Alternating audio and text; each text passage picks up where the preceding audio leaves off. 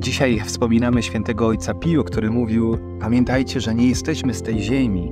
Mamy tu misję do spełnienia: zbawienie duszy i danie wszystkim dobrego przykładu.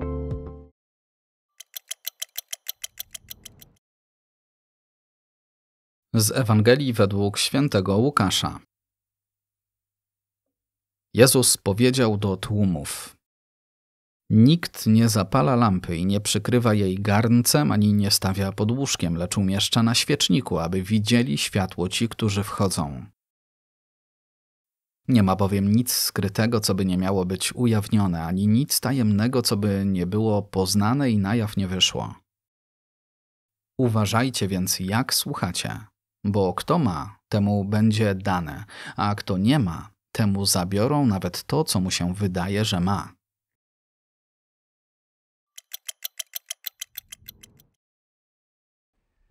Raz jeden, dwa, dzień dobry z siewcą. Mamy kolejny poniedziałek naszego życia i piękne słowo.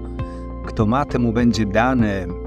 Dzisiaj wspominamy świętego ojca Pio, który mówił: Pamiętajcie, że nie jesteśmy z tej ziemi. Mamy tu misję do spełnienia: zbawienie duszy i danie wszystkim dobrego przykładu. Jezus mówi, że nie chowa się światła pod korcem. Zachęca nas do tego, by dzielić się tym światłem, które mamy w nim Chcemy wciąż na nowo pogłębiać tę wiarę, dzielić się tym, co otrzymujemy każdego dnia od Boga.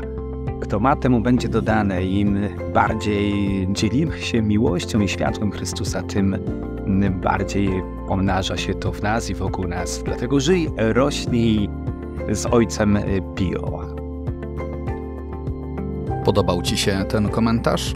Polub go. Zostaw komentarz, zasubskrybuj nasz kanał. Udostępnij. Twoje działanie przyczyni się do siania Słowa Bożego dla kolejnych osób, które tego potrzebują.